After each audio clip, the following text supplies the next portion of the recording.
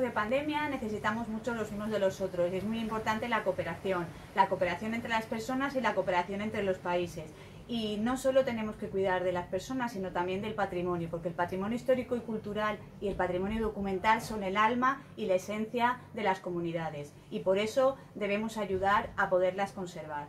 Yo soy Gema Contreras, soy cooperante y soy subdirectora del Instituto Valencià de Conservación, Restauración e Investigación.